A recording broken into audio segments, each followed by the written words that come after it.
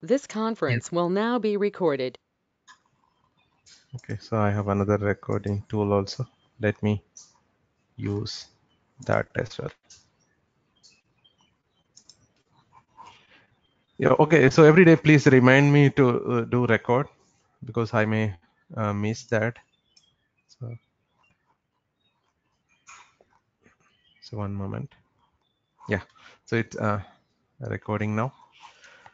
So like for practice, so we have multiple options like I said. So one is virtual machine based installation so that you can make use of VirtualBox or uh, VMware. But the problem here is you need a higher end uh, server or laptop. So at least 16 gig and i7.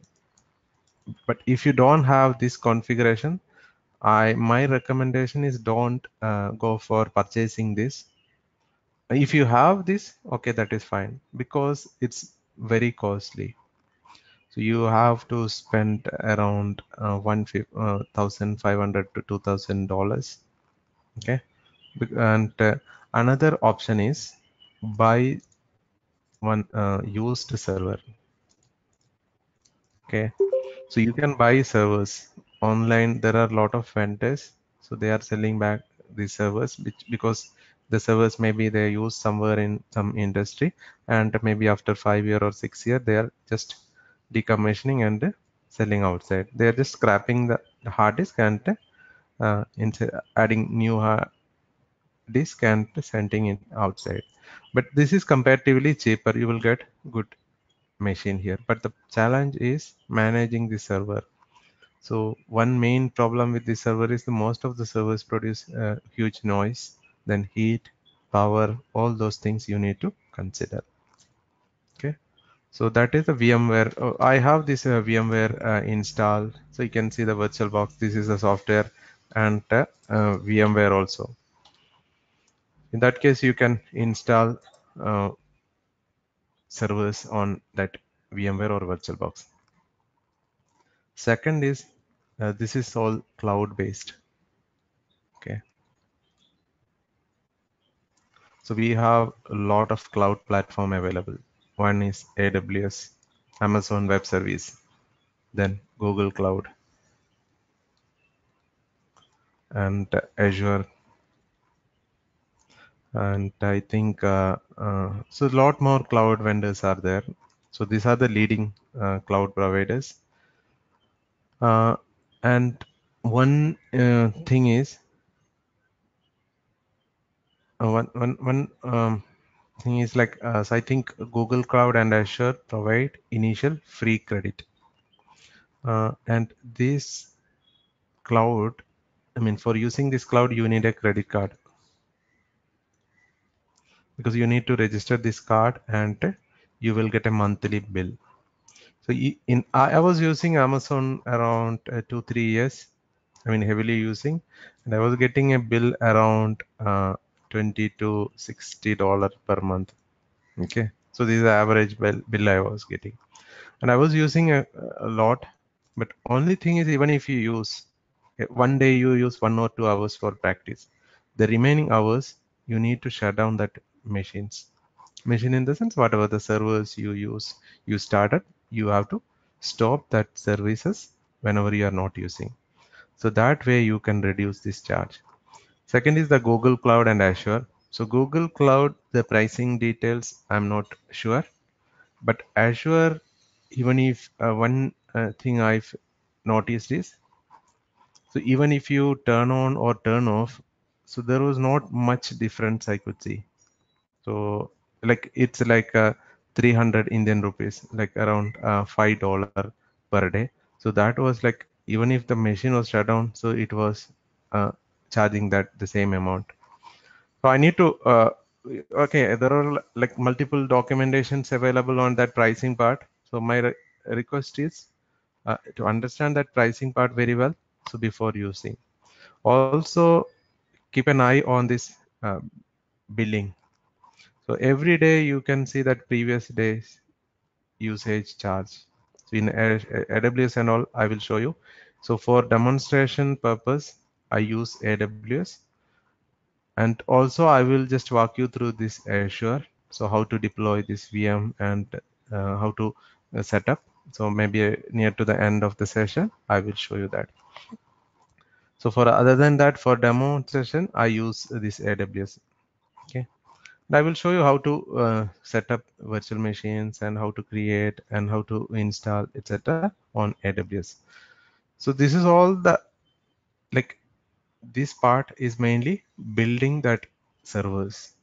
So if you are in an enterprise, I mean, so you are working in a company, in that case, you just request your backend team, maybe Unix team, or we have separate team available.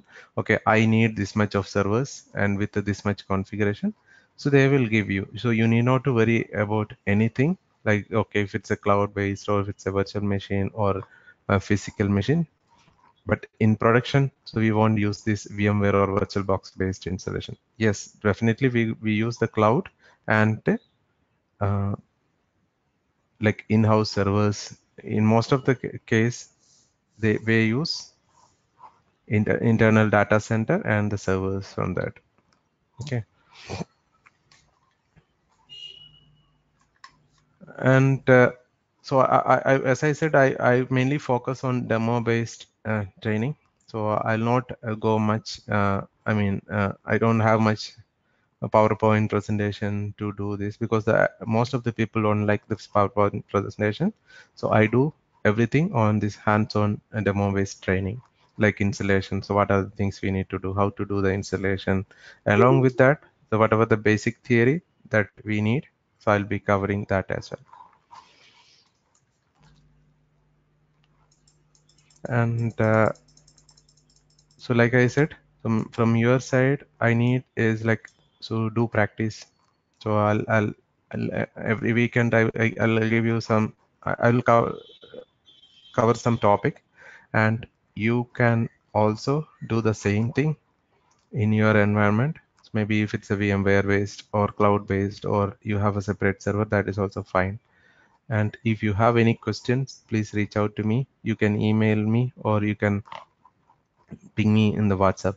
Or in worst case uh, like I, you can call me and uh, i will help you to resolve that. So the first part is build a strong foundation and on all these components. So next you can prepare for interviews and uh, how, what are the questions and most probably uh, probable question they ask. I'll, I'll also help you on that. Okay so any questions? Okay let me check here and uh, okay uh, so 8 gig uh, okay so one question from Venki is can we use 8 gig for practice? So the problem with 8 gig server is so in uh, the one the way we are using Hadoop is here we we make use of multiple servers. So not not only on the single machine. So we use multiple servers for installation. And mainly if you want to eh, test this high availability uh, or actual uh, scenario if you want to simulate you need to have multiple servers. And also minimum uh, 8 gig per server is also needed. So we can technically we can do that maybe a single node instance but it's very difficult to manage. So also most of the time installation fails. So we will uh, lose a lot of our effort um, by building that so that is the that is why i recommend uh, to use any one of the cloud so i i, I don't recommend uh, any anyone uh, in this list you can have a, a, whichever you feel comfortable So any other questions you can uh, make use of? So what will be the minimum requirement for the installation number of uh, servers and storage and RAM? Okay, uh, so that is a good uh, good question. I, I think you are asking about the servers that we are using for Hadoop installation. So that I will I will uh, show you uh, how to calculate those values. And but if your um, if your question is about uh, the host machine then minimum recommendation is 16 gig or even 32 gig is also fine but less than 16 gig even with the 16 gig also you will not get much performance. My laptop is with 16 gig i7 so with this configuration i'm not able to do well. Uh, at least i tried earlier uh, this with the hortonworks okay that somehow I'm, i was able to do but cloudera the, the problem is cloudera is having a lot of tools especially the cloudera manager and it's supporting components itself is like memory consuming okay so let's uh, get uh, started.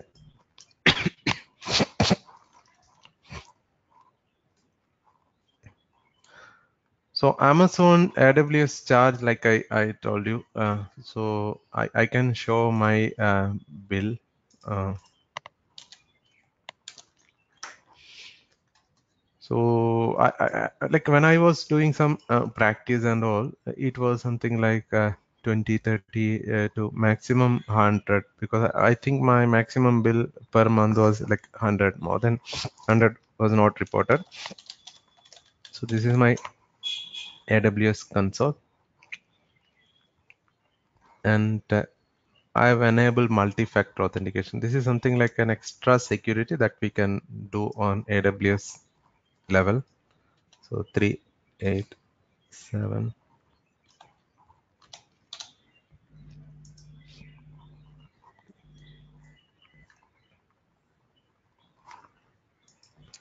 and uh, billing you can see.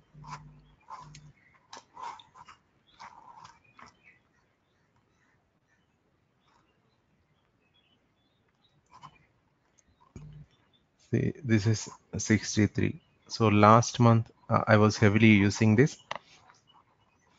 And uh, january so this is a bill forecast and uh, i think somewhere we can see your uh, past bill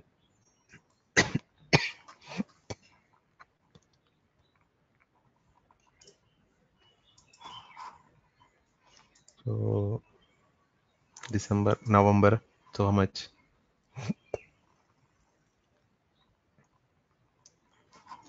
We can uh, see here.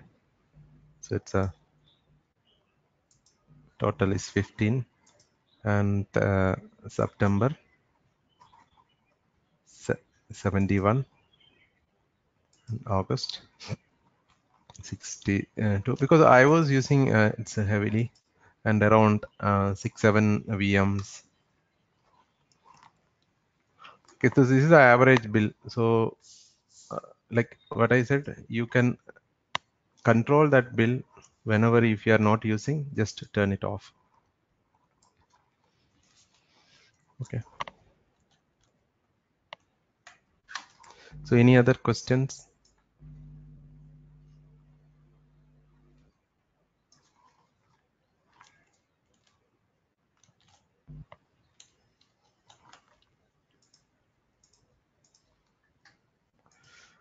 okay so let's get started about the initial theory part.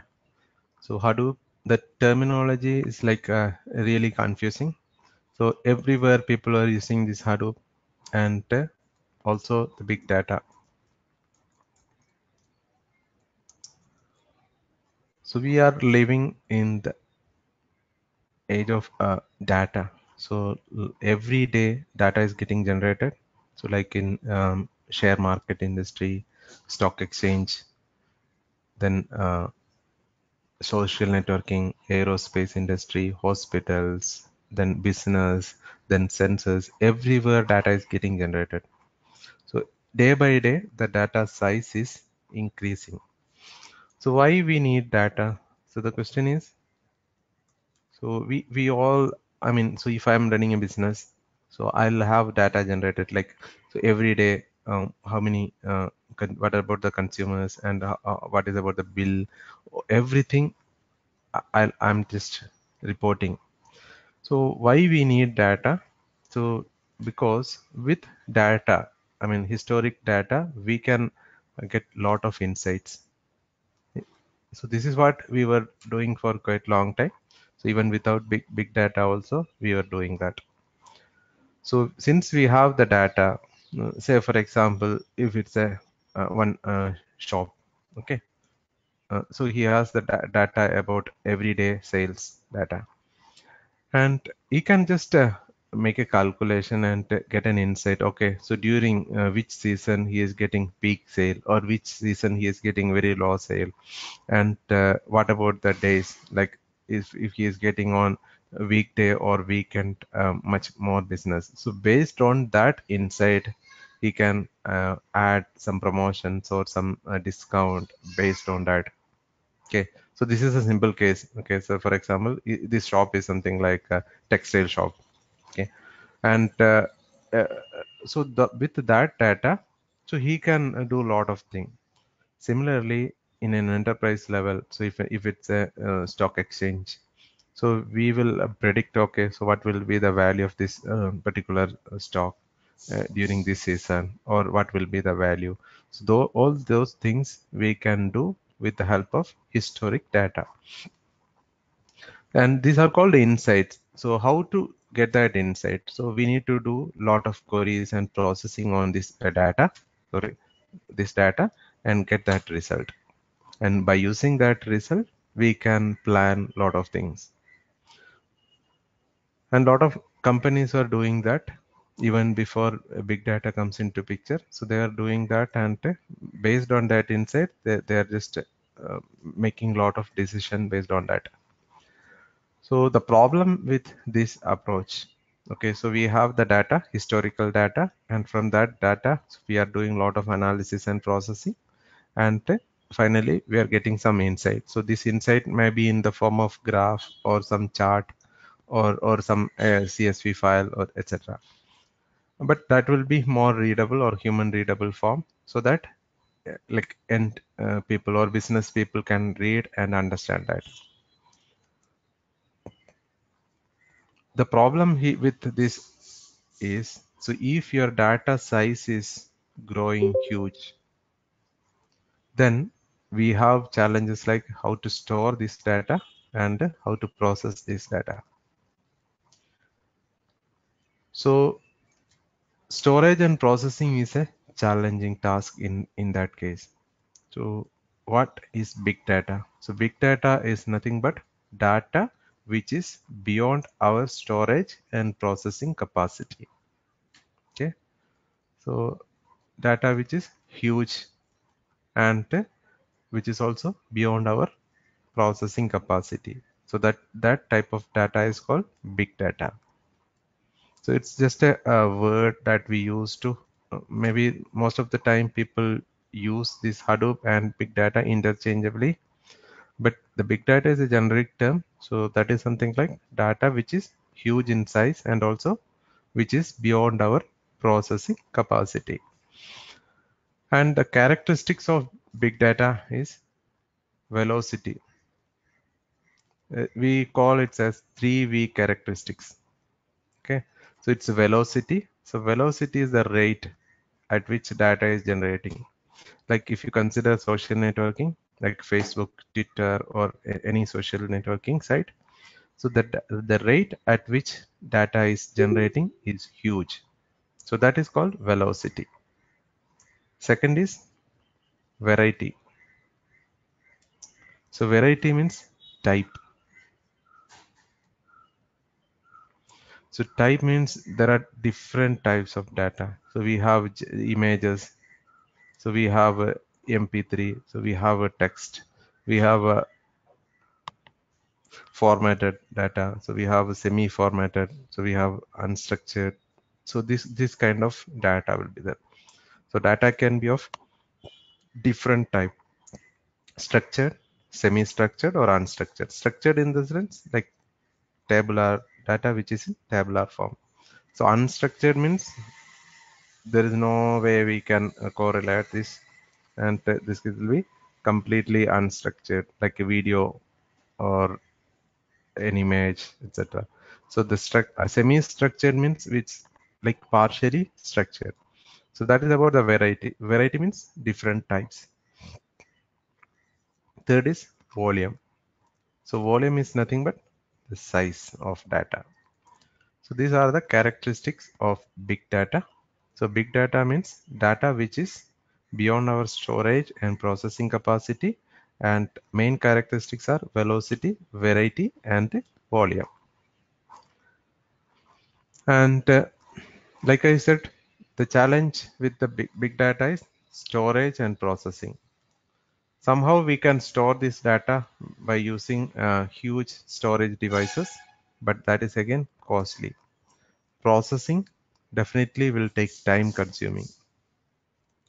So we have some money that we need to store and we have, I mean, this is in the sense expensive. Also the time, time is also money because if you are getting an insight today or the same insight we are getting tomorrow, that is all different. So, so to resolve this, so we need something. So that is called Hadoop. Okay. So Hadoop is a framework and this framework itself written in Java. And this is used for managing big data. Okay. So we use, okay. So managing big data is with Hadoop. So Hadoop is a framework that is used for managing big data. So to, uh, just to, to, to terminology, you need to understand what is big data. So big data is just a generic term. So that is used to refer data which is beyond our storage and processing capacity. And uh, it's something like uh, main three characteristics, velocity, variety, and volume. So velocity means the rate or data growth, we can say. Variety means the different type and the volume means the size. And uh, Hadoop is just a framework or a tool that is used to manage big data. So managing in the sense, so we have to store uh, this data and we have to process. So Hadoop provides the tools or technologies to handle this. And if, you go to Hadoop history,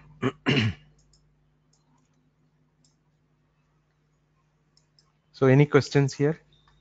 If you have any questions, make use of this uh, chat window. If you have any questions.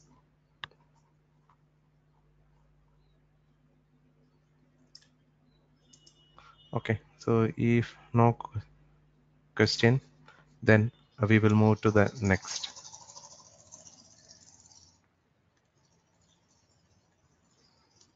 History of Hadoop. Okay. So, you know uh, who developed this initial version of Hadoop? It's a Doug Cutting. Okay. And uh, it started as Apache Nutch search engine project. Okay.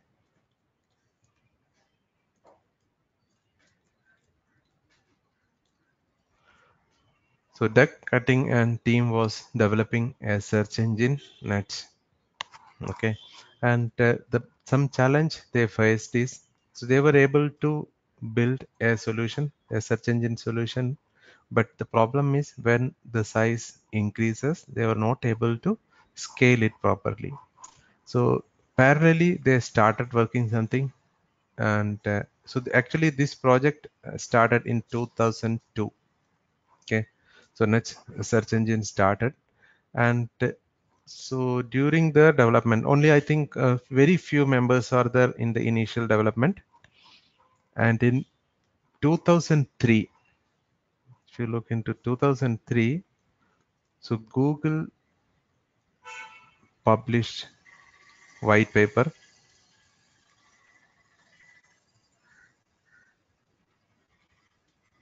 on Google file system. We call it GFS. So Google file system is a file system from Google. So we call it GFS and how the Google are Google, I mean, Google is managing their data in their uh, data center because Google is Google search engine was very, I mean, still now also they have very big uh, search engine and lot of uh, pages in their data center. And how they are managing their data and mainly how they are storing. So they just published a white paper, not the complete code, only the white paper on this GFS. So how this works at very high level. Then in 2004, so once it started as in the in public forum, so in 2004, so this team, Nutch Search Engine team, developed a file system called NDFS. I mean Nutch Distributed File System. So we call it as NDFS. So this is the distributed file system. Distributed means making use of multiple servers and distributing the data and storing. So like I said, the challenge was the storage and then processing. So for storage, we have got the solution from Google file system white paper and they developed a Nutch distributed file system, which is basically a distributed file system. And in uh, the same 2004, so Google published another white paper on Google MapReduce. So this is the programming methodology that Google use. Okay, so this is the storage methodology they use, and this is so they just published this white paper on this Google MapReduce in the same 2004 and in 2005 the Nutch team just copied the same and Nutch MapReduce okay. So they were able to scale very well by using these ideas. So ideas the basic idea has come from the Google white papers. So Google has the white papers on Google file system and Google map MapReduce so they faithfully implemented in open source as Nutch distributed file system and Nutch MapReduce.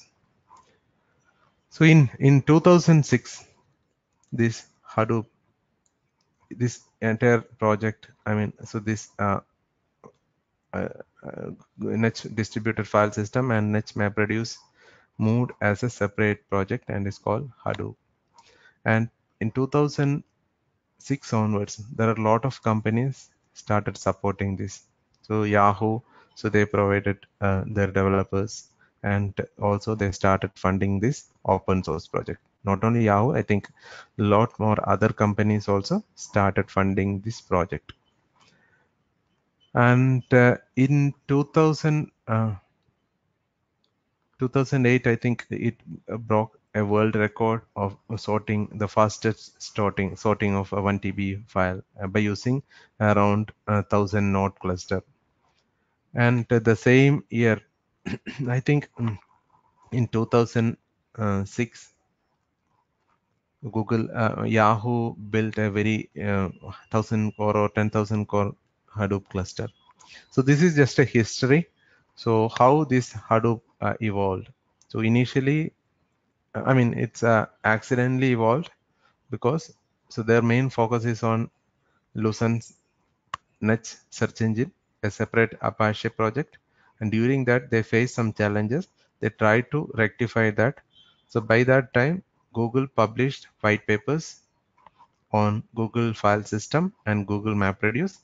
And this Apache Nutch team has taken that white paper and implemented open source distribution of the same and that is Nutch distributed file system NDFS and Nutch MapReduce. Then later this portion. Okay, so this is something like a, initially the portion of Nutch search engine project, but in 2006 moved as a separate project. So a lot of companies started funding that and evolved as a separate project called Hadoop. And once Hadoop has come, again the name Hadoop just is just a name of his toy elephant. So he's this this person gentleman's daughter, I mean son, had a, uh, a toy elephant, and his name was Hadoop. So he just used those kind of names throughout this Hadoop ecosystem. So you can see some tool name is Pig, then some Hive, Impala, and Zookeeper. Everything you can see some uh, strange or uh, I mean unrelated terminologies they use. Okay, and uh, so that is the name name name come and uh, after that so Hadoop uh, file system HDFS Hadoop distributed file system and MapReduce.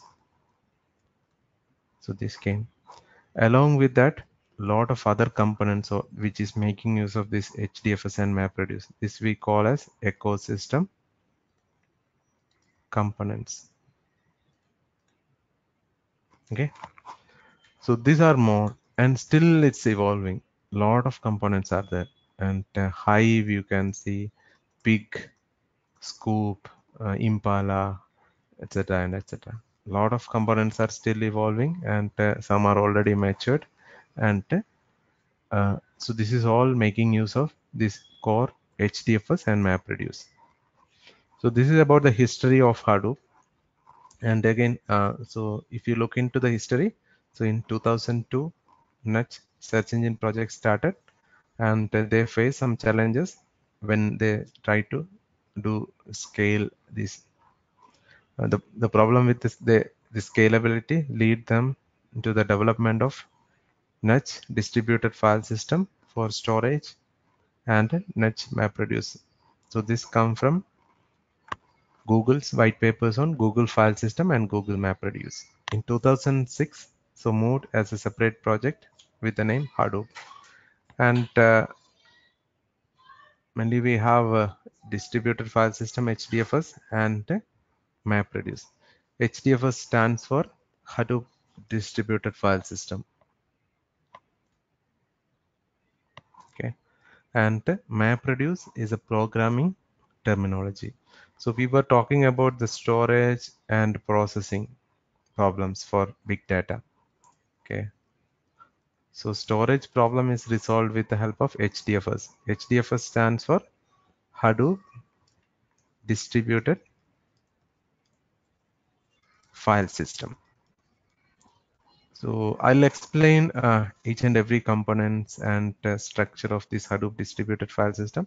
Now just understand the terminology Hadoop distributed file system and uh, MapReduce. It's just a programming tool or programming technique, distributed programming technique that we use.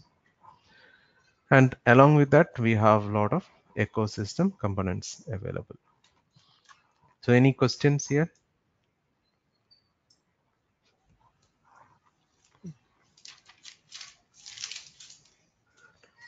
So for doing uh, day-to-day -day activities or appearing in interview and all, so they won't ask these theory questions, but still uh, you should know uh, how this tool is evolved and what are the components initially available and how this on which direction it's going. So it's be be better to understand these terminologies and uh, uh, tools available. Now, uh, so we can see all these tools are developed as Apache project. Okay. So if you just search with Apache Hadoop, so all the Hadoop components are available as an Apache project.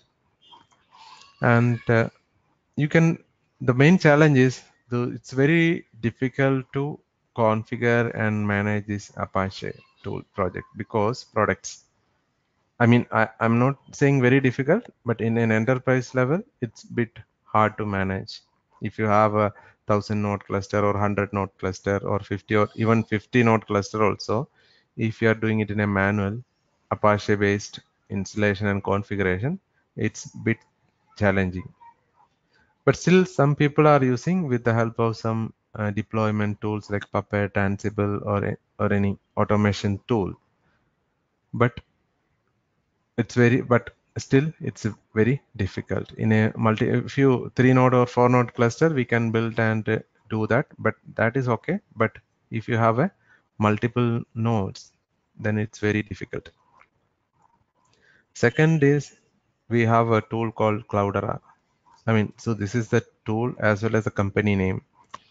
So Cloudera is a company that has taken this open source Apache Hadoop. They are also uh, people working for this Apache and they are still uh, doing a lot of R&D on that. The, the thing is like they have some tools for managing and uh, they are providing support to entire infrastructure. Definitely this require licensing cost, but we can download and evaluate this all these products with a free of cost. Again, some version like enterprise version that require a license. So Cloudera is a vendor. Similarly, we have a Hortonworks. So this is also, so here tool is called Cloudera Manager. And here we have Ambari. So it's a web-based tool for managing the cluster and they also provide support. And another is, sorry, this is uh, two, three, and this is for Mapr. So Mapr is another company.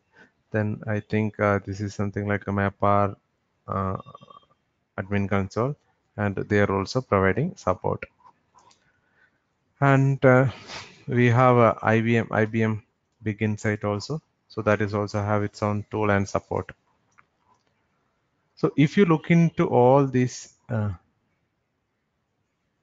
distributions or companies, so they have taken this Apache and they have their own tools to manage that and they have their own uh, tool which is used for man deploying, managing and monitoring Hadoop cluster.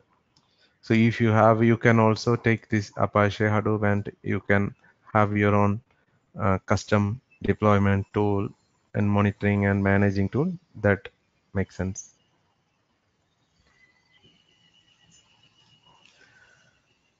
Okay, so this, these are the different vendors. And again market share I think the Cloudera was much higher than Hortonworks, then Mapr, then other distributions but now recently you might heard like this Cloudera and Hortonworks. So they merged together. And uh, maybe after two or three years so they will come with a separate product. And uh, I'm not uh, saying like one is better than the other. But if you evaluate the feature so I feel the Cloudera is having a lot more tools and features available the core Hadoop things are same across all these two, but from the Cloudera uh, manager, I mean monitoring and managing tool. So this Cloudera has more features. But Hortonworks somebody is relatively simple and easy.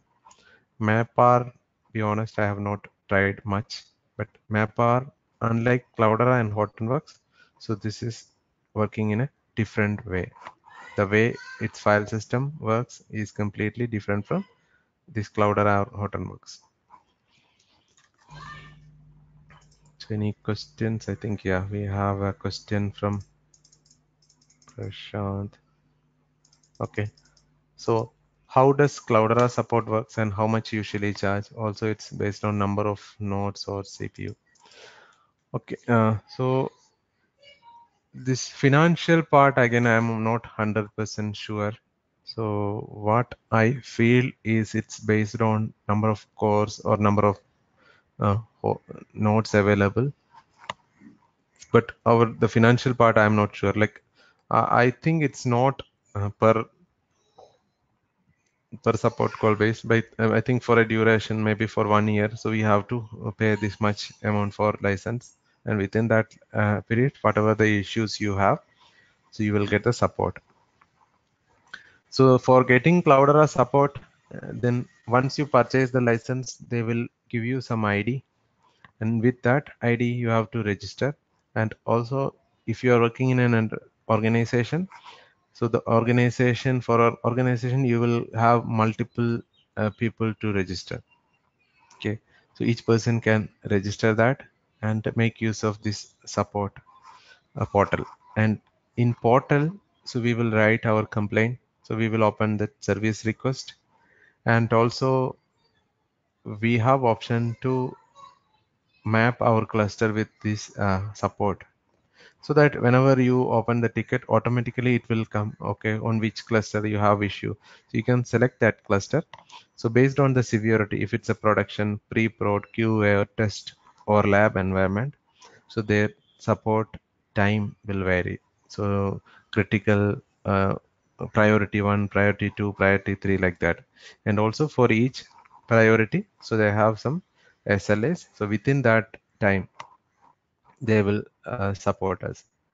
So again the support how it works is like so the first part, part is email support. So they will respond to that ticket in their portal. So we will get an email alert. Okay so this is the things we need to do in order to rectify this issue. So these are the configuration changes you need to make or these are the mistakes we made. So all those things they will send as an email. So the same time we can go to that portal and see that because I don't have any ID available to show you that. And uh, the second is so they will uh, call us and uh, communicate and uh, will request to join to a webex and we'll have to share our screen and show it to them. So they make take the control and do the support or whatever the changes we need. It's all depends on the severity of incident. So in case of production definitely they will uh, join this webex call with us and they will sort it out and immediately as possible so this uh, license charge i'm not sure but what i feel is like cloudera's license fee is much i mean the cloudera is much costlier than hortonworks. So any other questions here?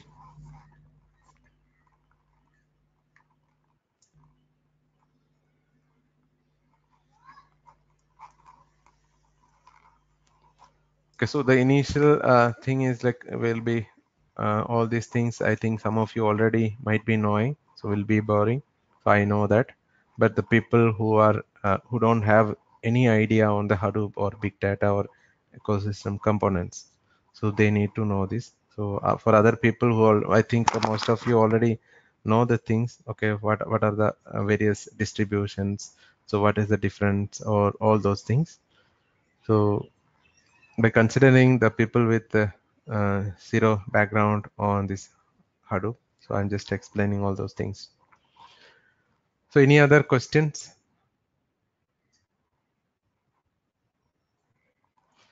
Okay, uh, then uh, we will just take a five minutes break and uh, we can uh, start uh, sharp. Okay, I think now 5:23 and 5:28 we can start. We will just take five minutes break.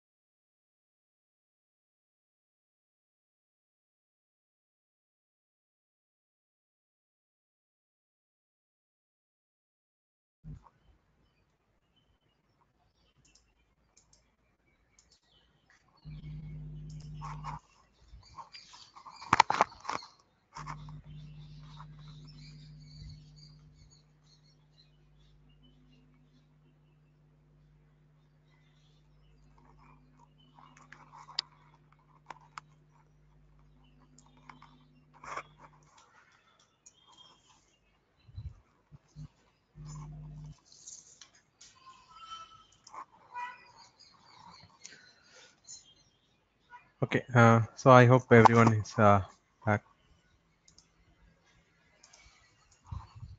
So now, uh, okay, I'm not uh, going uh, much into theory part.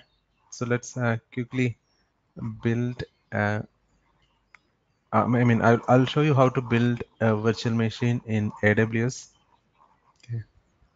And uh, in uh, maybe a little bit, if I get time, so we can, I, I will show you in Azure. So, so these two things we need to have basic understanding. Okay, what is a virtual machine or how to deploy a machine and uh, how to register. I think there are a lot of uh, videos or documentation available. So I also have some videos. Let me check that and I, I will share with you. So on AWS, how to create AWS credential and Azure. So you need to have a credit card. So yeah. Okay, so let's uh, get uh, started with the Azure. Okay, that is fine. And uh, uh so, uh, like I said, I'm going to build the virtual machine in AWS or Azure. That is the first part we need to do. Uh, for that, okay, so if you're so once you register in in Azure, okay so the registration i think it's not a, uh, a big process. So it's a very very easy and straightforward. Okay. And uh, you will be getting a page like this. So once you log in okay so it can let me uh, sign out and show you that. The only thing is just a portal.azure.com and uh, once prompted so maybe initially you won't have this ID listed here. You have to choose the your ID and uh, with that ID you can log in. Okay, I think. Uh,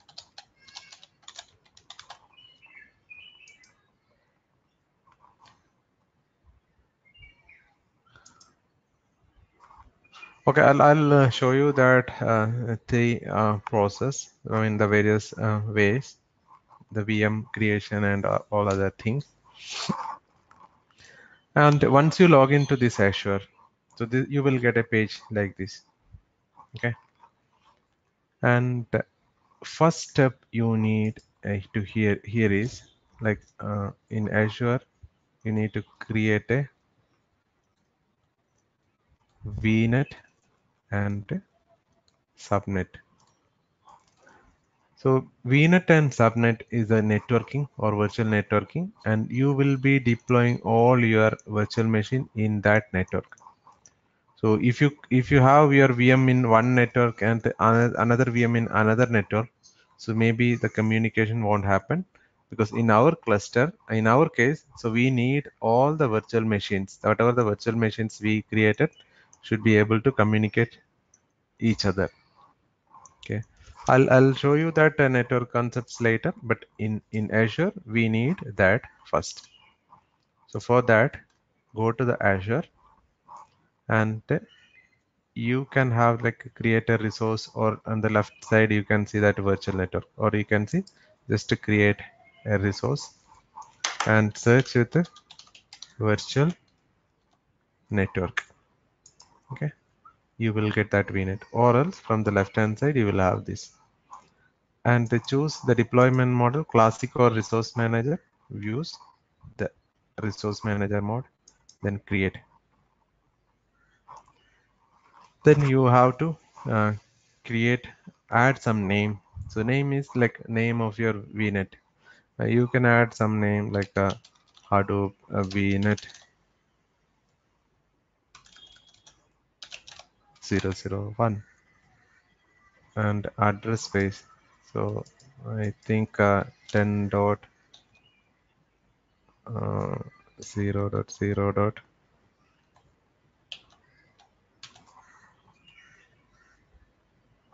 So CIDR notation. So what is the address?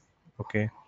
And also uh, we need to check okay how many IP address you can accommodate on this ci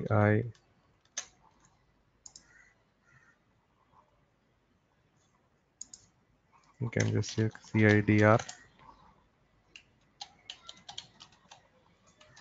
address range. And uh, see with the 24 you can have IPs from this to this. And if I just use 10 dot 0 dot 0 dot 0 dot 0 16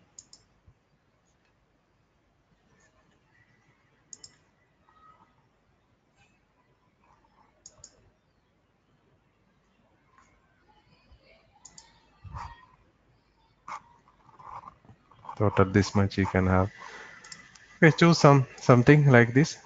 Okay so 65000 and all. And uh, your subscription by default you will have pay as you go.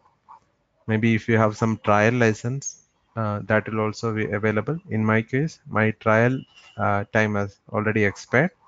Initially you will get around uh, $600 trial. And resource group okay sorry uh, before um, going uh, to create the first thing we need to create is the resource group. Okay. So resource group is a logical uh, group. Okay. So it won't cost anything. So only just a logical name. So whatever the resources you are deploying you can add in that resource group. And whenever you have uh, you want to delete everything you can just delete that resource group. So resource group, I can say it's something like similar to an envelope. So you are adding everything to there, but this resource group is uh, does, doesn't cost any any any charge. Okay. So choose the subscription and resource group name. So I'm just using say RG something. Any any name you can use, and the location also. Whatever the location you need. So you have this is all the location where you have data center available for Azure. So I'm choosing South India as my location. So whatever the location which is near to your region, you can choose that. So review and create. Create. So like I said, resource group is basically a, just a, uh, an entity that in within that inside that resource group, we will add resources. Uh, so that I mean, so if you have multiple people are people using the same account, okay, so I'm creating uh, one VM and he is creating, so it's bit challenging to manage. So in that case, resource manager will help us a lot. And also if I want, uh, okay, for this training, I'm creating one resource group. For another training, I can have another resource group also. Whenever that completed, then I can delete entire resource group so that all the resources under this resource group also will get deleted and I'm adding my uh, VNet and subnet here. So just add and here I can search virtual network. Sorry uh, virtual network. Choose this one. And uh, deployment model resource manager. And uh, I can choose something like Hadoop VNet 001 address space. So I need uh, address from uh, 10 series or whatever the series you want, you can choose. Okay, slash 16 and uh, I'll get this much address. Okay, or if you, uh, I think 24 also feasible. 24 just allows this much and what is a resource group okay so i already created this resource group and uh, choose that. And location is this one. And within uh, this vnet we need we can have a subnet. So it is something like uh, okay so we have a, a vnet here. And we are creating a separate network entity. Within that network entity we are creating vnet. I mean, uh, so this is the VNet and this is the subnet. It's something like a networking, uh, network isolation. So we have subnet here. So within a VNet, we can have multiple subnet. So total IP here is uh, 10 uh, 0 0 uh, uh, 16, right? So we will have a range of IP starting and ending. So each subnet will be associated a portion of, I mean, subset of this IP subset. And this will have some saying, and this will have another. And so you can have multiple subnet created. So here we have an option to create one. So I can just name as uh, Cloudera subnet 01 then IP I think uh, if I uh, sorry if I need uh, this entire range so that I can use I think uh, that's 24 only so if I just use 26 or 27 28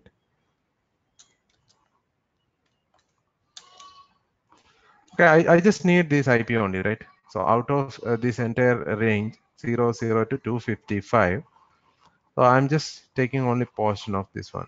So that i can have the another subnet also that can uh, make use of this remaining ip address and this is all selecting as default and then create.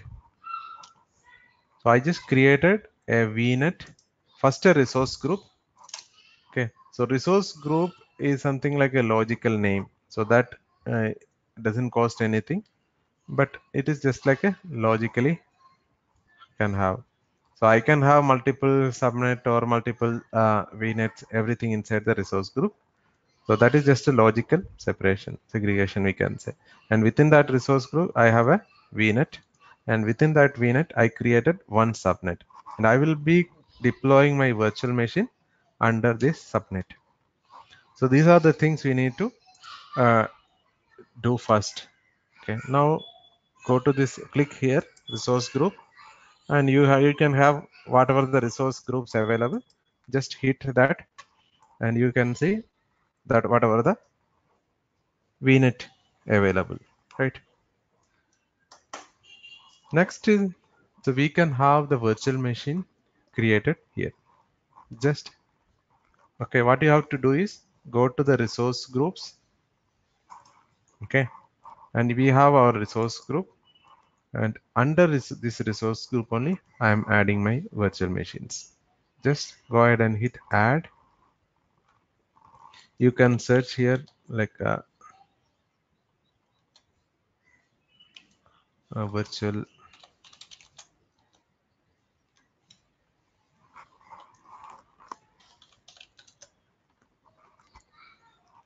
okay so if this is not listing here you can just search here. And uh, this is the global global search or main page. Just create the resource uh, you can have like a lot of options are there. Go to the compute and you have that whatever the operating system you need. So we have uh, RHEL and uh, I don't know why see all. So operating system you can choose whatever the operating system you need. So I always prefer CentOS the reason is uh, it uh, maybe the charge may be slightly different diff, I mean lower than the RHEL one and uh, whatever the version we need CentOS 7 LVM. A lot of VM images are there. CentOS 7 7.3. Okay, let me uh, choose this one. This looks okay. But you similar to AMI images. So these are the images. Images in the sense we are building operating system from this base image. So you may be wondering why we, we have different images because it's all configured with uh, some uh, special characteristics. Maybe uh, this is something like some software already installed on that. Okay, with the, this is from Cisco. So this is from different different vendor, and this is from Microsoft, etc. You can choose and just deploy and see what are the uh, versions available. So we have uh, we can have we have search here and see all those operating systems available.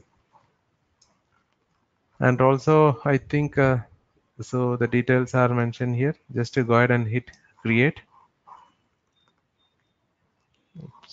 I think uh,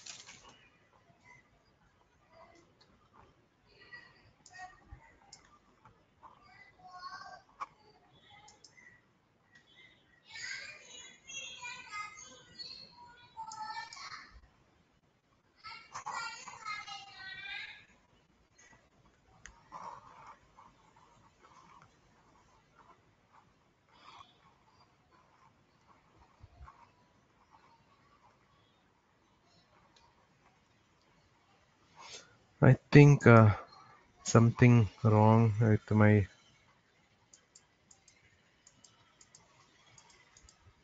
Windows server. Uh, my desktop is not responding. So can you guys uh, hear me properly? Yes, yes. Okay. Yeah, we can hear you. uh, okay. So when I try to deploy this, uh, I, I'm just seeing, uh, I think I may need to restart this VM. Okay.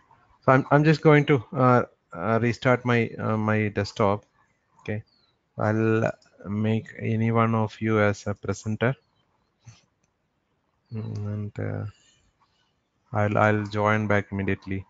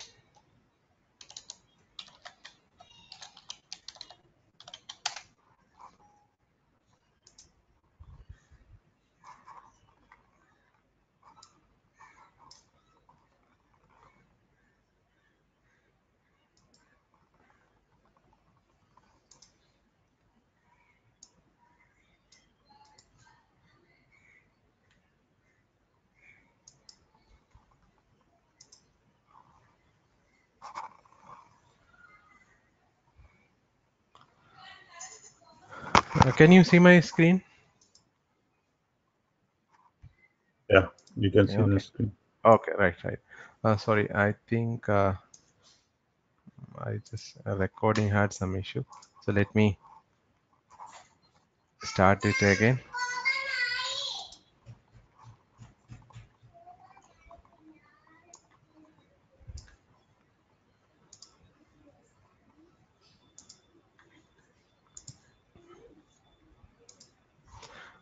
So let me log in back to this Azure portal.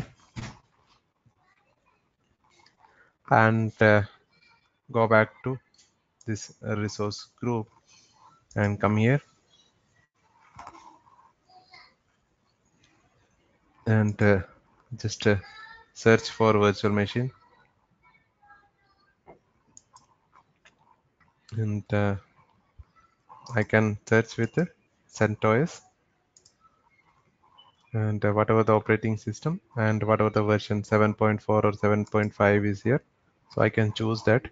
And uh, deployment model I'm selecting as a one second uh, yeah and create this virtual machine. And uh, choose the subscription. Maybe you have free tier available. In that case it shows as free tier. And the resource group and virtual machine name. So i'm just writing as a, uh, master 01 any name you can give. So just naming as master 01 region is south india. And availability option. So this is something like a high availability for this virtual machine itself. So that this azure cloud vendor provides. So we are not choosing that at this time and the image is like a CentOS 7.5 and uh, what is the type? So this is something we can change and we can see the pricing uh, uh, i mean it pricing details also. And uh, if you need uh, 4 core 16 gig on monthly you will uh, get this much bill. And uh, if, if you- i mean this is something like you are using and uh, turning it on for entire month but use that whenever you are not using just uh, uh, throw throw it away.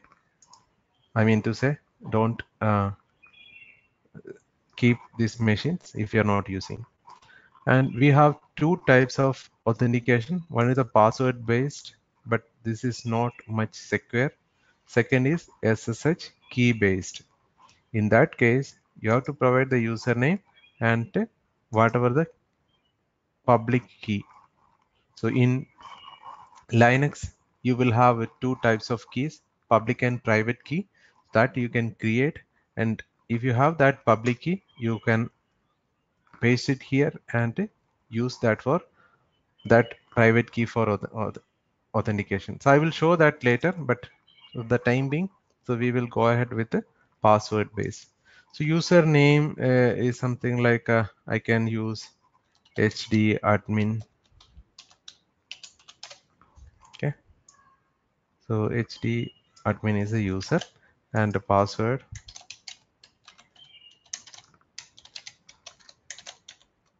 Use the password and confirm that password.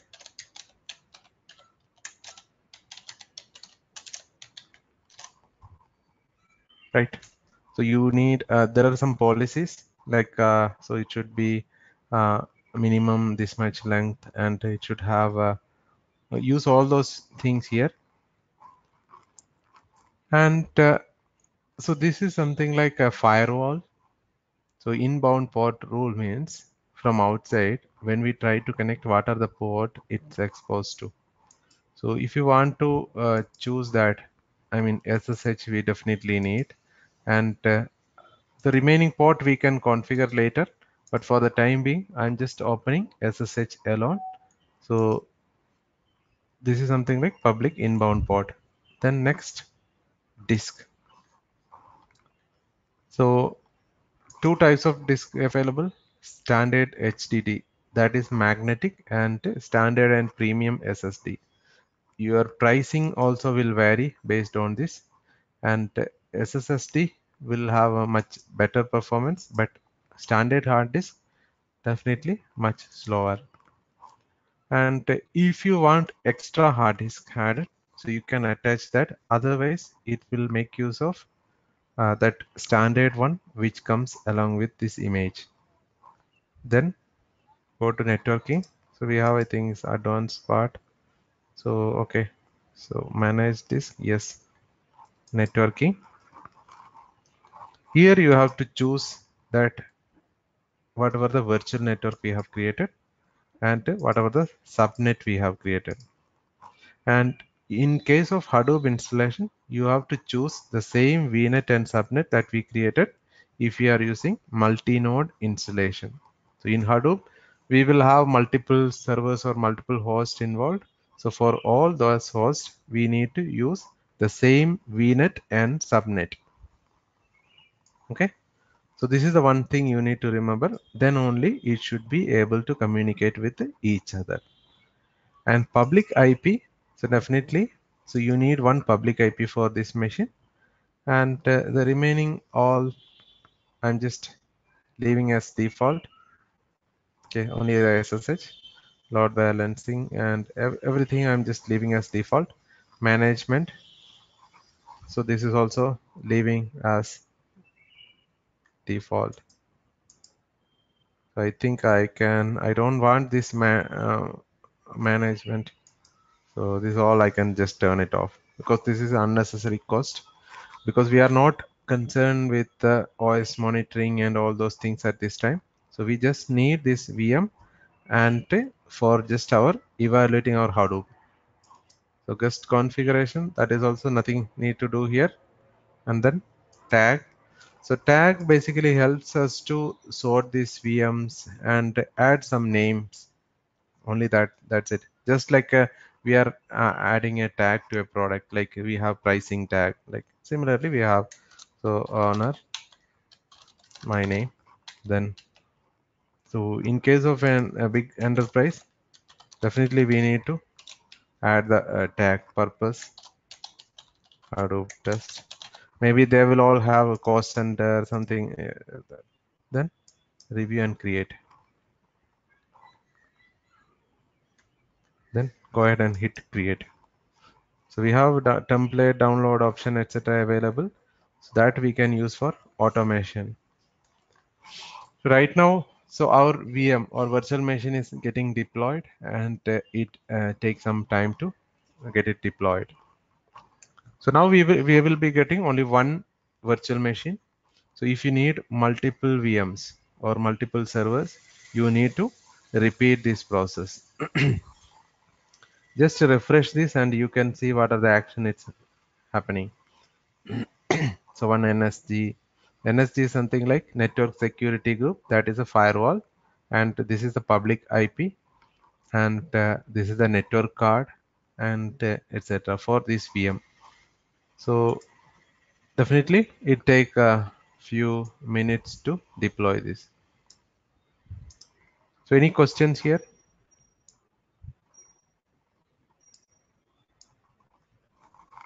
So you can try to uh, uh, create an id here because initially they will give you free credit around 600 dollar i think with that you can do practice a lot. Again if you are not comfortable and then going with the pricing one. So no need to do. Because unlike other tool there is no automated uh, renewal process available. So only when you go for a priced uh, version then only you, will be charged. And uh, again i think i I heard one question like uh, do we need a networking uh, knowledge must. So network knowledge in the sense it's not i i'm not saying it's a must to have knowledge but it's always good to have if you have a, some basic networking knowledge. Uh, and again we are not going in depth networking uh, concepts here. It's just like uh, we are creating a vnet under the vnet we are just creating a subnet. And uh, that gives us network isolation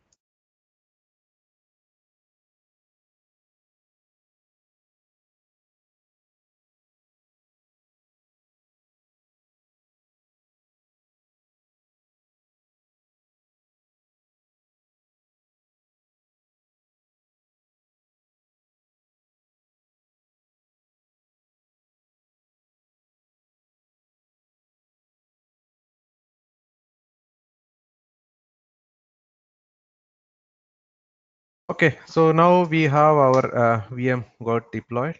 So we will just go to the resource groups and then see this resource group. you can see apart from the one uh, which we I have uh, deployed. Also, this is the VNet and subnet. You can see one something like a virtual machine, and this is the disk associated with this VM, and this is the network interface, and this is the public IP, and this is the network security group, which is nothing but a firewall rules or list of firewall rules that will control. So what are the ips or how we can connect how we cannot connect. So once you do install hadoop on this server definitely you need to modify this nsg rules because by default it block almost all the ports from outside okay. Uh, that we can do. So this is something like we have okay. So don't uh, uh, i mean be uh, so because initially it takes some time so i'm not uh, covering everything just an overview. So these are the things available. So we have inbound and outbound security rules that we can alter. So i will show you in depth in detail later. So no worry. So this is how we can deploy the vm okay so once we deploy the vm just hit that vm and you will get this public IP address. Then uh, take this putty, okay, and use that IP address. Then use, I think, uh, HD admin. What is the user I use?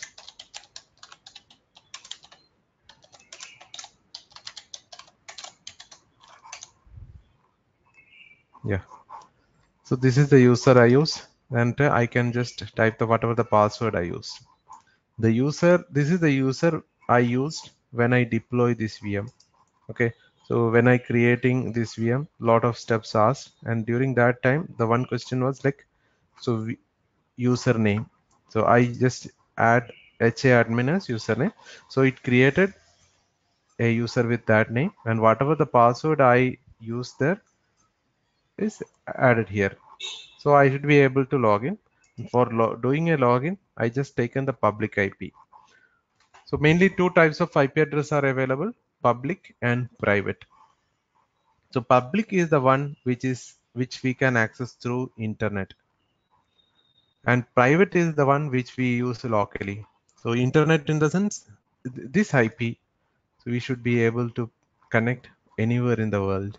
Okay, so from US, from Europe, or as, as, as, I mean Asia Pacific, or any location, you can access this if you directly exposed to internet. So that is a public IP address. Okay. So mainly, if you, if you go to the any one of the cloud, so you can uh, hear like public and private IP address. So public refers to the one which you can access from outside world uh, that means with putty, I'm able to connect. Maybe this is located somewhere in Azure's data center in South India, maybe in Bangalore or Chennai. So from my home in Kochi, and it's connecting to this virtual machine in that data center. So that is how this public IP work. Again, we can opt with the public IP or without public IP. So it's all depends. And also charge is also varies depending on that and I can change these settings like uh, appearance. So increase the font and uh, I can change the colors use the system color and all. And here also I can do switch to root user. Because most of the things we do require a super user privilege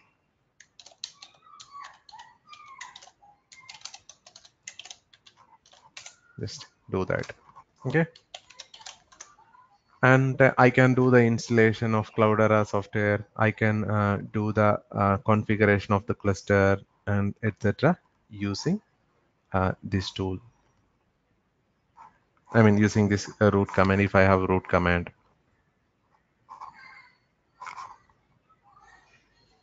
So any, any questions here?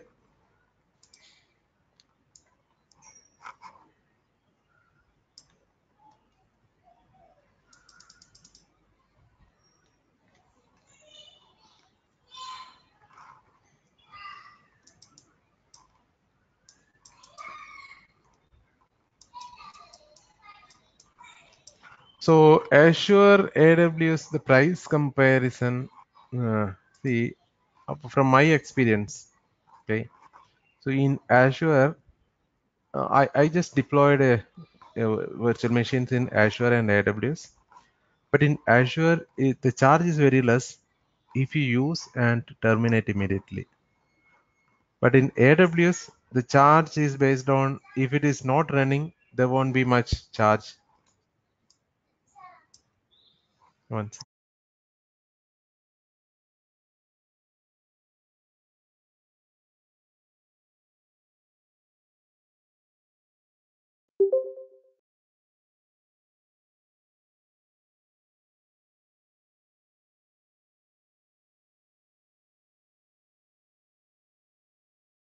And uh, there, I mean, so I can say if you just do the installation, configuration, and testing, then uh, destroying this VM, Azure is best. But if you're keeping it, uh, so in my case, I had experience like one VM was costing uh, 300 rupees per day. I used one or two hours, but still I was getting a, a bill of uh, 300 per uh, per day bill. I, I, don't know, uh, maybe some something from from mistake from my side, but again, I have not done much uh, comparison. But as an overall, uh, I was just hearing like Azure is much cheaper than AWS. But uh, but AWS is also not much costlier. Only thing is, okay, so now we are not using right VM. So just stop the VM and whenever you need you can start it so all other services are like uh, so will be there. We cannot turn it off because this there is no option to turn it off or something. Then this public ip or all those things there is no other options. And uh, i think uh, so this one also we have option to uh, disassociate and later we can associate because this public ip also a chargeable option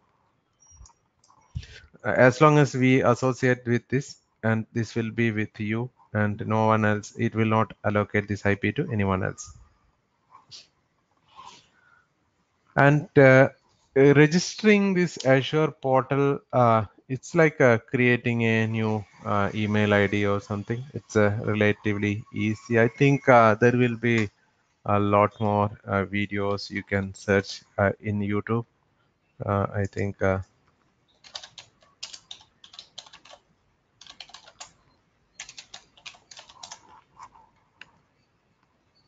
Mm, I think this is a. There are a lot of beginner uh, tutorial available, so you can make use of that. And also, if you are in during the registration, if you have any uh, challenges, let me know. Also, you will get support from this Microsoft team also. So if you have any challenges during the registration, so this is all priced products, definitely so there will be a lot of support from this vendor.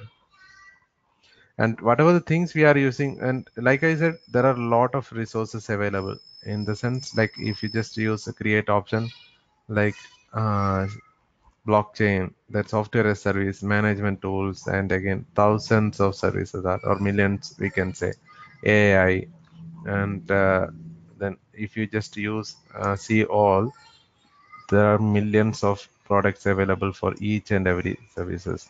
And we are using only very minimal part of this compute component and that is just a operating system. Under compute also we have n number of services available. And uh, once we are here just to go to the resource groups. Um, uh, what's in the resource groups and you can see whatever the resource groups you created and you can log in and do the installation.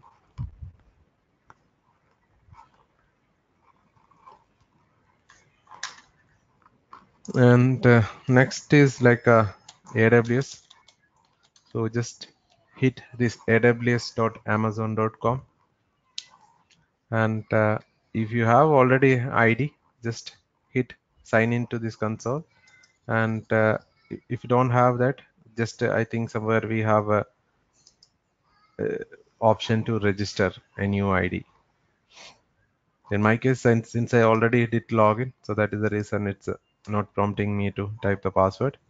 So sign into the console or uh, this page will come. So by default if you register just a username and password or sign in with a different account so you, you will get a page like this.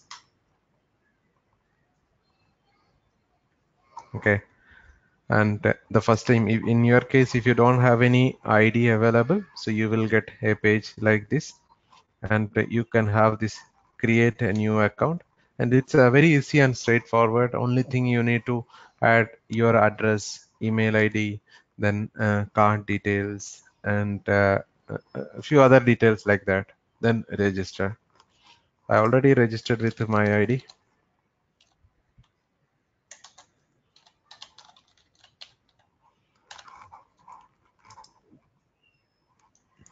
Okay. Once type, it will ask you to type your password. And normally you won't have this multi-factor authentication. You can you cannot see that in your environment when you do that. Only thing is you have to add this. This is an extra security. So the username and password, some people can hack, but this one, it's very hard to crack. So you can have this Google Authenticator installed in your mobile phone and uh, you will get an image to scan that, use that image and it will keep generating some uh, six digit number. So you have to use that and every uh, few uh, one minute or something it will keep changing that number use that and you should be able to log in. This console you will have this option okay? And you have to go to this ec2 so here one thing you can do is you can easily uh, go ahead and uh, do that. No need of uh, creating a vnet or uh, subnet separately. So we will be doing that as when when we do that virtual machine provisioning and then we will have this launch instance and here also we have option to like community AMI marketplace etc so use the community AMI and here you can search CentOS and uh, you will have that virtual machine. I use that Singapore location so you can change the location whatever you wherever you like. So even if you are in other location you can choose the Singapore location itself. So I already have some uh, VM which I already tested. Okay so this is the CentOS VM and each VM will behave differently because the size of the disk and all other things are slightly different from one VM to another one. So here I have that. So I can make use of this. I'm not deploying at this time, but I will show you how to do that. So you already have seen like uh, the previous one, which we use in Azure, and we will see the similar one in uh, EC2, uh, Amazon AWS only. Also, just hit this launch instance.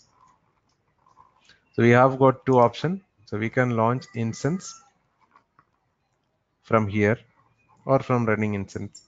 So just uh, launch instance then community AMI so here you can search the keyword like uh, CentOS iPhone 7.5 so the problem is so these are the different different images from different people. Okay.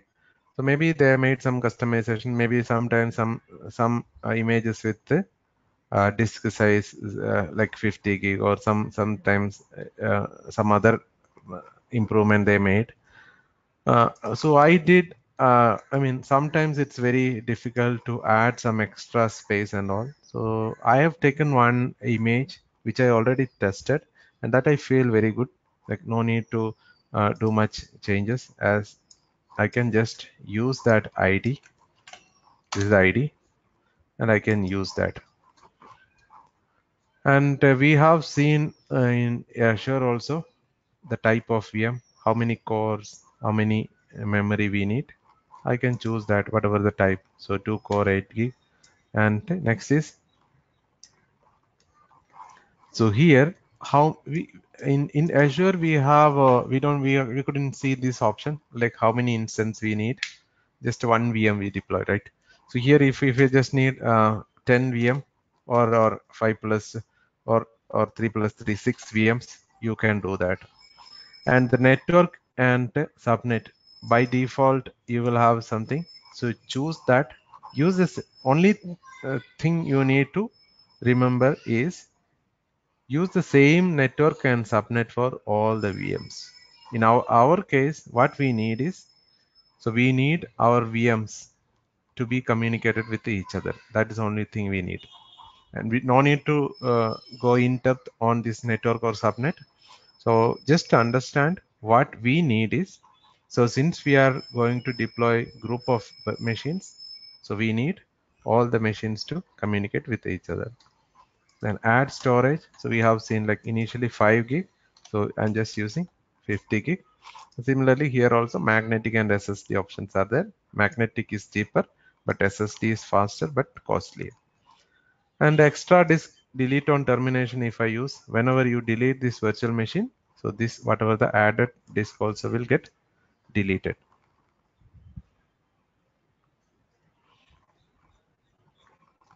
And uh, you can just hit review and uh, okay next is adding tag. So we have seen this tag in uh, other azure also. Here also we have tag. Network security group. So we have seen like in azure it's something like nsg here also we have groups. So here you can create and whatever the port and uh, you need to communicate or you need to open so all traffic I can just open anywhere. Okay? So this is okay so this network security rule basically control the traffic to this virtual machine. Uh, I mean so this is something like I added as an wide open access so all the port from anywhere so I can choose from my IP that means no one else would be able to connect except me so I don't have a, a static IP available. So this is my uh, desktop IP. You can verify that what is my IP. So it's a 117.201.0.40, right? So that IP I'm restricting. The main challenge is there are a lot of people and who is always sending the messages and hacking this VM so there are a very high chance like your VM also get hacked. So in order to avoid that, you can use this network security group or NSG rule. And uh, you you this is some this is something like I opened everything, so I can just open SSH alone, right? And uh, uh, review and launch so that only SSH okay from custom or anywhere I can use. So anywhere means entire uh, from anywhere in the internet. So this is open to SSH. So and once you create it, you can use the same NSG or uh, security group.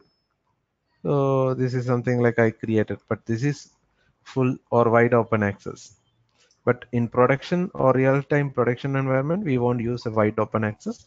We will just use once this is done, we'll go ahead and review and launch. I will show you that deployment later. And also I will show you what are the VMs I deployed. Just uh, these are the VMs I deployed for the one of the Cloudera cluster. And uh, you can just start it and stop it or terminate means I'm just uh, deleting that. So all these VMs are stopped state.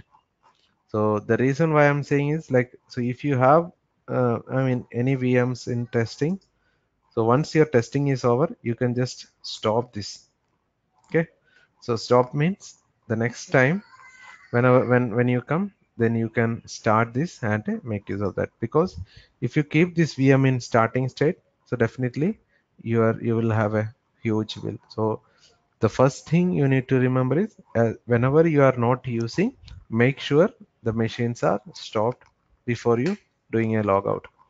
Because if you are you may be using just one hour or two hour per day but if you keep the machine they will charge for 24 hours. I mean uh, effectively you may use one hour or two hours maximum. So make use of that. So first step okay don't uh, think this is very complicated or huge thing you cannot do nothing. So this is very very simple thing. We are not doing any anything in depth. Once you start practicing or start using so this will be much more easier than uh, this one. And also our main focus is not to learn this uh, cloud or um, uh, this uh, networking technologies but when we are learning that just try to learn at least something here okay so that will be uh, always good to learn these things. Because anyway in near future so there will be a lot of everything will be in the cloud. So at least try to uh, familiar with the two or three cloud. Also google cloud also there but i don't have any uh, i don't have a registration or id available with the google cloud. So i'll have to register and see. Maybe down the line i will show you that because i also uh, zero in google cloud. I'll have to uh, evaluate that and uh, install vms on that. So from your side just uh, uh, try to see okay how you can uh, at least get a login id i think earlier it was asking for credit card. I think now it support debit card also i'm not 100 percent sure and uh, yeah at, at least uh, try to register if you have the card. And also uh, if you provision any vms whenever you are not using just stop. Okay you feel like you need that vm next day stop and start. Then if you feel like okay that i don't need this anymore just action just terminate. Terminate is something like delete. Here also like in in resource group i can just uh, go to that resource group and delete this resource group. That will delete everything. So i just use then resource group name is so here deletion is very easy. So it will delete all the vms and associated uh, components in this resource group. I can go ahead and delete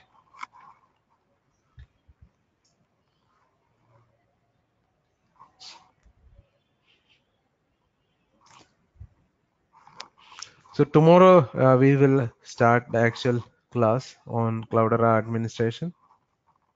So we will try to uh, see how to install on a single node. Okay, Cloudera manager, CDH and all those things. And along with that, we will try to understand each and every component. The installation itself is a, a huge part because there are multiple ways to do the installation. So one is the simple and e easy one, which we can do very quickly and the second is like how we do in a production environment. So in production so we need to follow certain standard. And then we'll have to uh, do high availability then upgrading. High availability again so a lot of high availability options are there. Distributed file system is there the resource manager all those components like most of the components have high availability feature. So we need to check how to do this upgrade operation and uh, uh, and again the security how encryption works how authorization works and how we can use a centralized authentication system using active directory. Okay all those things we will uh, see uh, one by one. So maybe tomorrow we will try to cover uh, the installation a simple installation a one node installation so that entire week you can just try that single node installation and see various components so any other questions or feedback please let me know. Okay you can email me or ping me on the whatsapp. So i i don't know like the pace i'm going is very fast or very slow. Like definitely this cloud thing i i think i went uh, very fast um, because of the time constraint. No worry. So initially you focus on the uh, login creation part. So slowly i will show you how to create. Definitely we will have to create these VMs uh, and for our testing purpose. I will show you all those things one by one. So any questions, guys?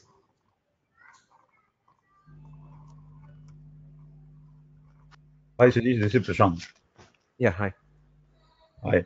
Um, sorry, I joined a bit late, so I don't know what is um, the rules and regulations for, for the class. That is it. Um, are we only allowed to do on chat, or can we uh, talk on um, microphone as well?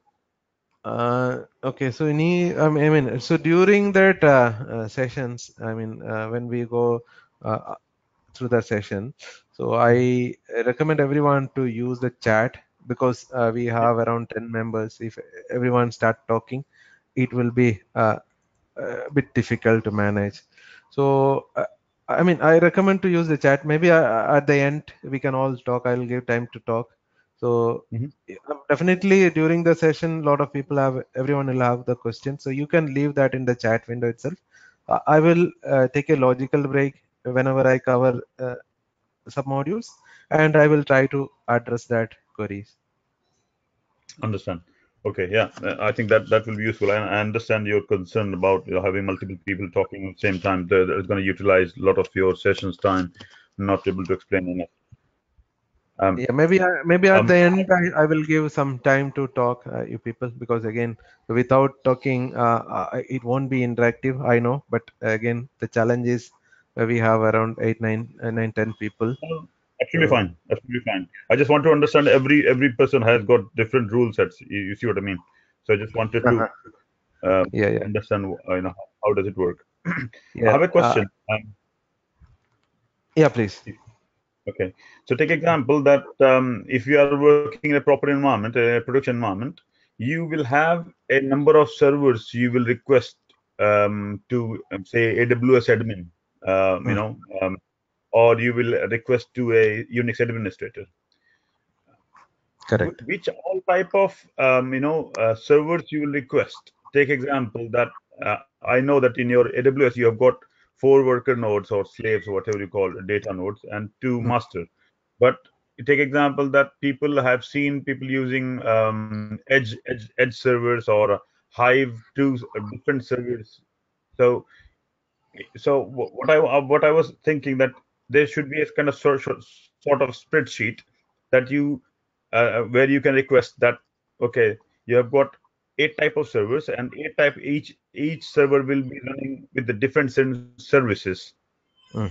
and you will have different uh, configuration of those services and why we have uh, those type of services and why we have that type of configuration so as an admin i think it's quite important for the admin to understand how does it um, you know what sort of prerequisites are there for servers Uh, correct. I will explain that in later in uh, detail, but Okay. the main uh, thing is like we definitely will have a design uh, diagram or design document in place, and uh, so we have multiple ways to do that. Even we can do in a single node, or we can do th- three node or five node. Mhm. And first we will have to talk to with our developers or the consumers who are actually going to use this and we will have to consider the uh, data growth. The first is we need to think about the HDFS or hard disk size, then understand that and what are the tools they need. So if they need Spark or Hive or Impala, whatever the services we need, I mean they Yeah. need, and along with that, what are the ecosystem components? Uh, I mean the basic components we need to add.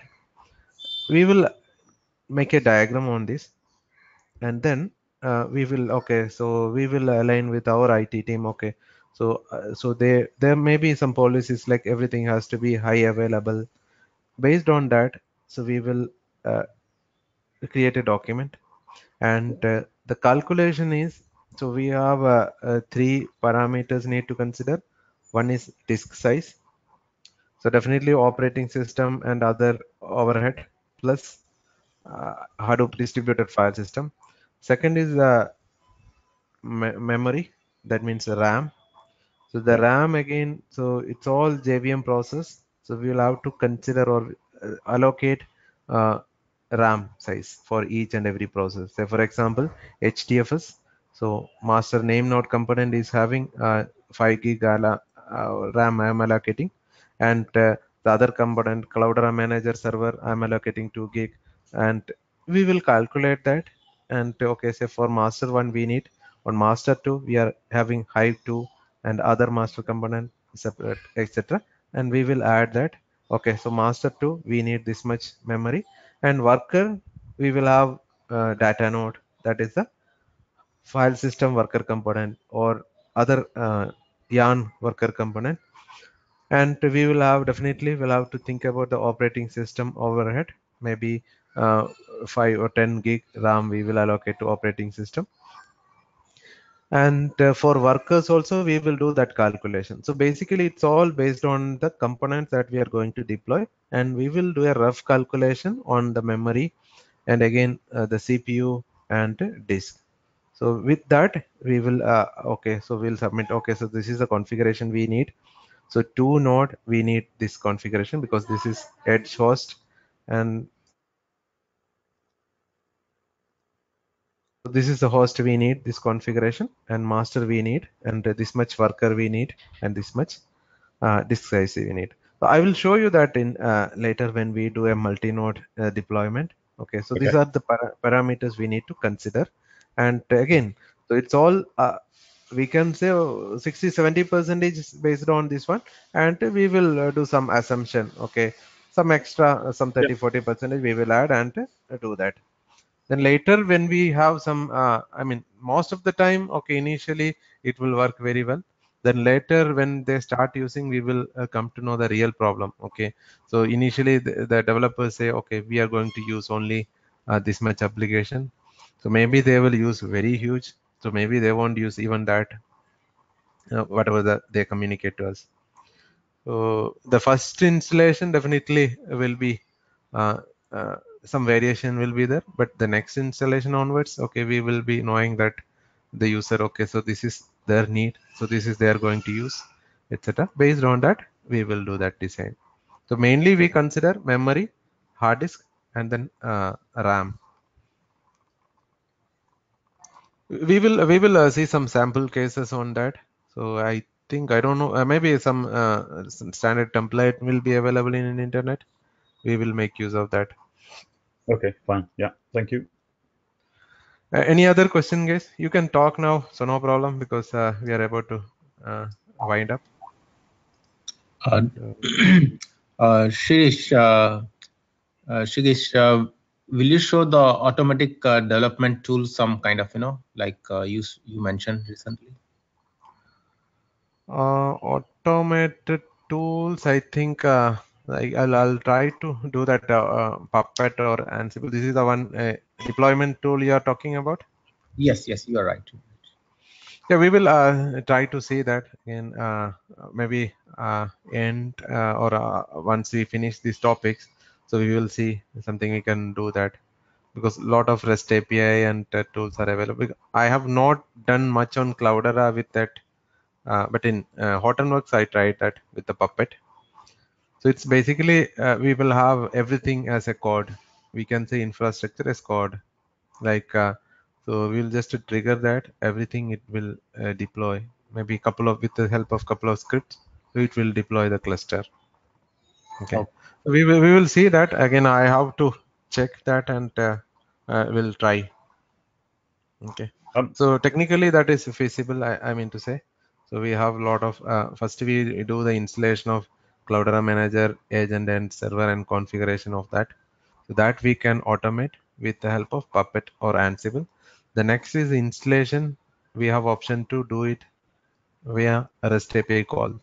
That is also feasible we, we will see that. Maybe uh, once we complete all this basic topic and other advanced uh, security and other topic one at the end please remind me. I'll also i'm just uh, making a note of that. Okay. So any other question? And on, and on uh, that note, on- on that note, what gentleman just said, um, I have I have done some research on that one. I know that probably you know that um, Apache Hadoop, the the without any uh, you know badge on it, that I think uh, these DevOps tool uh, they works quite good on the you know the Apache Hadoop.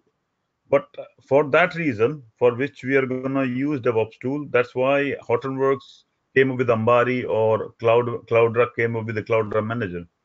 So I, I I- I didn't get much. I think what, what how best we can utilize uh, these DevOps tools for for for uh, product like Cloudera or or Hortonworks. Thank you. Uh, yeah, correct. Uh, I mean, so the, I mean, in an enterprise level, uh, most of the people, if if they have Cloudera Manager, they use that Cloudera Manager itself. If they have Ambari, use that. But some people, very rare case, uh, I could see, so they were using this Apache Hadoop along with this DevOps tool and uh, open source tool, and they were using Apache Hadoop in a production environment. Okay, we will see that what are the different options so once we have gone through this one. Any other questions? And uh, we are getting today's recording, right? So we can practice. Uh, yes, yes, yes, yes, yes. I'll, I'll, I'll send that. So you mainly focus on these uh, two uh, things like uh, any one of these cloud registration, and uh, also if you have, if if you can just, I think in YouTube and all, there are a lot of publicly available videos available. So just uh, watch that. And again from the cloud front uh, we are not uh, i mean no, no no need to do much in depth in cloud at this time for our deployment. So we are just using the vm for vm if we can uh, find some sample uh, uh, YouTube video for this thing you recommend, mm then we don't need to do research, you know, for this Amazon or AWS. Or... Yeah, sure. I'll I'll uh, check and uh, I'll send you. Please, thank you. So we save our time to research and do yeah, yeah. follow that slide that video. Thank you. Okay. So any other feedback, you can just uh, ping me on my WhatsApp. I, I think you all have my WhatsApp number. So anything like if I'm going so, too slow or too fast, or if if any other area that we need to uh, focus, uh, any, anything you can just reach out to my email id or my whatsapp. Then uh, I'll, I'll try to sort it out. Okay. And also if you have any questions or any any challenges you face during your practice you can email me or whatsapp me. I'll, I'll try to respond you back. Okay. Uh, so yeah please uh, how much uh, linux knowledge is required for this hadoop administration Actually, uh, so the we are uh, doing the installation on uh, Linux VMs. Okay. Mm-hmm. Uh, Hadoop mainly we are, we were doing the installation only on uh, Linux. So mainly if you go into an enterprise, mainly Red Hat Flavor. So since this is the platform that we are using, on top of that we are installing. So definitely we need to have uh, Linux knowledge. But no worry, so we you can build that. So along with that, this so I'll, I'll I'll try to uh, show you the commands. Okay when we when I explain uh, this Cloudera uh, installation or configuration I will show you and explain you this command. But apart from that you try to build a foundation on Linux. So that will help you much more because uh, if you go for an interview and all so definitely they will ask questions from Linux also. Okay. And also that makes your life much more easier if you have a good linux background. Any any technology you learn so so basic operating system knowledge is always uh, best. I mean uh, so understanding the installation and configuration and all those things that is fine. Okay even if you don't have much linux knowledge you can understand and do. But in a day-to-day -day life as an administrator definitely you need to have that knowledge. Because some files you need to check. Okay some uh, something uh, you are getting uh, linux related issues. So in and in that environment you may have separate linux team but still you have to understand this is the linux problem and you have to route to them. So for this you need okay. uh, uh, also, if possible, uh, share us something like you know, where you face uh, Linux related issues, uh, so that uh, we can you know, understand. Yeah, I'll I'll, I'll I'll, I'll show you in that when we do the installation and configuration, all the Linux commands and tools that we use, and uh, all, all those things I will try to cover. Yeah, sure. But along with that, you, you try to get some basic understanding or basic knowledge also. That especially the commands, how it's work, etc. Okay. Thank you. So any other questions?